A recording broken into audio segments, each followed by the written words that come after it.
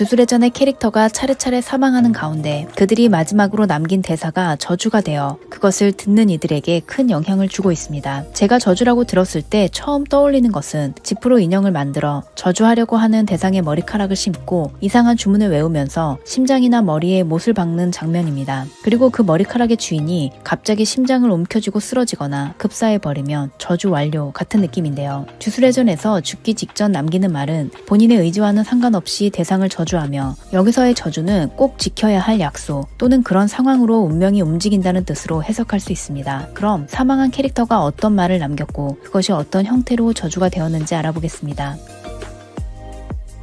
먼저 생각만 해도 눈물이 앞을 가리는 나나미입니다. 나나미는 시부야 사변에서 특급 주령 나곤의 영역 안에 갇히게 되고 영역의 필중 효과로 한쪽 눈을 잃지만 메구미의 영역 전개와 후식으로 토우지의 활약으로 목숨을 건집니다. 하지만 곧이어 나타난 조고에 의해 상반신이 불에 타버리는 부상을 입는데요. 만신창이가 된 상태에서 의식도 몽롱한 채로 주령을 거의 무의식적으로 재령하던 중 마히토가 나타나고 마히토의 무의전변에 당해 사망합니다. 나나미가 곧 자신이 죽을 거라는 걸 알게 된 순간 순간 앞에 나타난 것은 나나미가 주술고전에 제약할 당시의 동급생이자 임무 중 사망한 하이바라였습니다. 하이바라는 아무 말도 하지 않고 손가락으로 어딘가를 가리켰고 그곳에 나타난 것이 이타돌이었죠. 그런데 나나미는 하이바라에게 그것은 아니야. 말해선 안 돼. 그것은 그에게 있어서 저주가 돼. 라고 하며 뭔가를 거부하는 모습을 보입니다. 특히 그것이라고 지칭하는 무언가를 나나미와 하이바라 두 사람은 잘 알고 있는 것 같았는데요. 주저하던 나나미는 곧 생각을 바꿔 이타도리에게 뒷일은 부탁하겠습니다. 라고 말하며 사망합니다. 하이바라의 사망 당시 임무에 동행한 것이 나나미였고 친구의 시체를 가지고 돌아온 것도 그였습니다. 제 생각에는 하이바라가 사망하기 직전 나나미에게 뒷일을 부탁해 라고 말한 것이 아닌가 싶습니다. 나나미는 고전 졸업 후 증권회사에 취직했다가 사실은 단순한 돈벌이가 아닌 보람이나 누군가가 필요로 하는 것을 원하고 있음을 깨닫고 다시 주술계로 돌아왔습니다. 나나미 자신은 그렇게 생각하고 있었지만 사실은 하이바라의 유언이 저주가 되어 영향을 끼치고 있었던 것일지도 모릅니다. 그렇다면 저주는 하이바라에게서 나나미에게로 그리고 다시 이타도리에게로 이어지고 있다고도 할 수 있으며 주술의 전이라는 이 만화의 이름과도 통하는 부분이 있습니다. 나나미가 유언을 남기는 장면은 그의 상냥함과 이타도리라면 자신의 저주를 넘어설 수 있다고 판단한 이타도리에 대한 신뢰가 넘치는 시부야 사변 최고의 명장면입니다.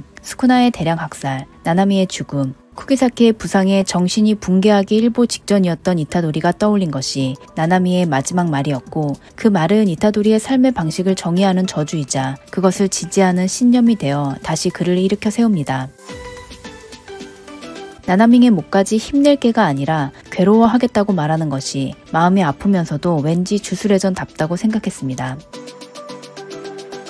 사실 유언이 저주가 된다는 설정은 이미 1화에서부터 등장하고 있었습니다. 바로 이타도리의 할아버지 이타도리 와스케인데요. 마스케는 등장 자체가 너무 짧았기 때문에 당시에는 평범한 할아버지로 보였고 지금도 주술사라고 밝혀진 것은 아닙니다. 하지만 원작이 진행되면서 주술사일 가능성이 나오기 시작했고 그것도 평범한 주술사가 아니라 상층부와 가까운 존재가 아니었나 하는 추측까지 있을 정도입니다. 마스케는 죽기 전 이타도리에게 넌 강하니까 사람들을 도와라 라고 말합니다. 그 후 스쿠나의 손가락을 회수하기 위해 찾아온 후시그로와 함께 학교로 향하고 처음 저주라는 것을 보게 됩니다. 당시에는 일반인이었던 이타도리에게 후식으로는 도망치라고 하지만 이타도리는 할아버지가 남긴 사람들을 도우라는 말을 떠올리고 성가신 저주에 걸렸다고 말하며 주령과 싸우기 시작하는데요. 그때까지 평범한 고등학생이었던 것을 생각해보면 성가신 부탁을 받았다고 하는 것이 더 자연스러울 것 같은데 이타도리는 유언을 저주라는 단어에 비유했습니다. 그리고 그후 스쿠나의 손가락을 먹고 주술고전에 입학하며 할아버지의 유언대로 운명이 움직이기 시작했고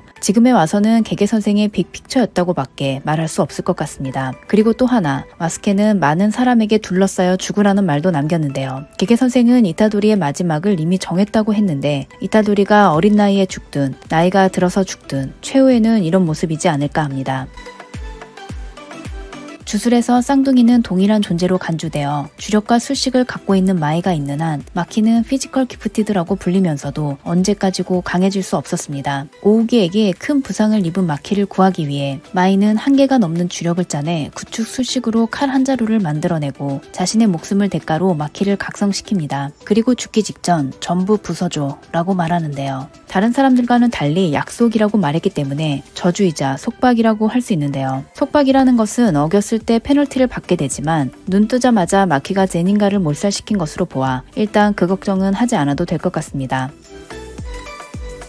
시부야 사변이 끝나고 주술 총관부는 야가 학장이 고조와 게토에게 사주해 시부야 사변을 일으킨 것으로 보고 사형을 인정합니다. 그리고 사형 집행인으로 등장한 가크간지에게 야가는 완전 자립형 인공주해의 제조 방법을 전하면서 이것은 저주라고 확실하게 얘기합니다. 지금까지 잘 감추고 있던 비밀을 왜 이 타이밍에 이야기한 건지 가크간지도 깜짝 놀랐는데요. 가크간지에게는 앞으로 두 가지 선택지가 있습니다. 완전 자립형 주해의 제조 방법을 상층부에 전하는 것과 전하지 않는 것입니다. 제조 방법을 전하면 상층부는 주해 군대를 갖게 될 가능성이 높고 힘을 갖게 된 자는 어떻게든 힘을 쓰려고 할 것이기 때문에 주술계에 전쟁이 일어날 수도 있습니다. 그리고 가크간지가 상층부와 어느 정도 가까운지는 알 수 없으나 상층부의 도구 정도의 위치라면 제조 비밀을 알고 있다는 이유로 처리될 것 같습니다. 제조 방법을 위에 전하지 않을 경우에는 지금까지 상부의 말이라면 뭐든지 따랐을 그가 한 번 배신하는 것을 계기로 썩은 주술계와 적대 관계가 될 가능성이 높습니다. 그에게 있어서는 어느 쪽을 선택해도 좋은 일이라고는 없기 때문에 야가가 저주라고 할 만합니다. 하지만 그의 선택에 따라 이타도리 쪽의 상황은 달라질 수 있습니다.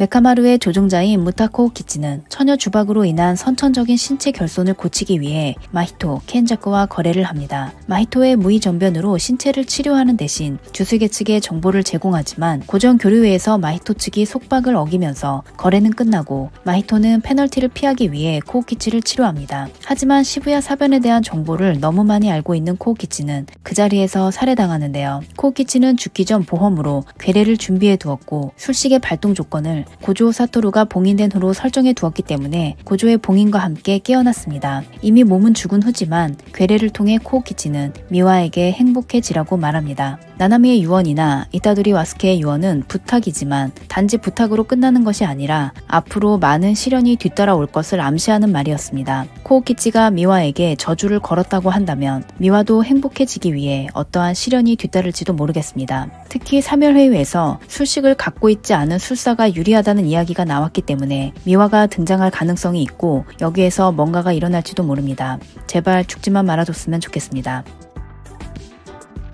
그리고 유언이 저주가 된다는 사실 때문에 쿠키사키의 생존 가능성은 더 높아지고 있는데요. 쿠키사키가 마지막에 남긴 말은 모두에게 전해줘. 나쁘지 않았다입니다. 이타도리에게 부탁한 것은 전해달라는 부분이었고 나쁘지 않았다고 한 것은 모두와 함께한 시간에 대한 자신의 평가나 감상입니다. 일단 유언이 저주가 되는 규칙에서 벗어났다고 보이기 때문에 살아있다는 쪽에 무게가 실리고 있습니다. 그럼 저는 다음 영상으로 돌아오겠습니다. 구독과 좋아요는 큰 힘이 됩니다. 영상을 시청해주셔서 감사합니다.